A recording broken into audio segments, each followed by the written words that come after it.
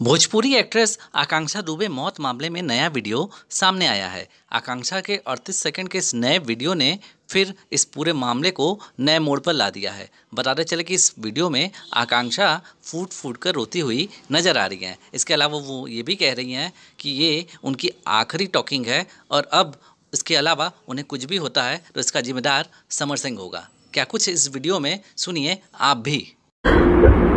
मुझे नहीं पता मैंने क्या गलती की है? बट मैं नहीं रह रही हूँ इस दुनिया में। ये मेरा आप लोगों से लास्ट ऑब्जेक्शन है मेरा अगर कुछ भी कुछ भी होता है उसकी जिम्मेदार समर सिंह है। कुछ नहीं।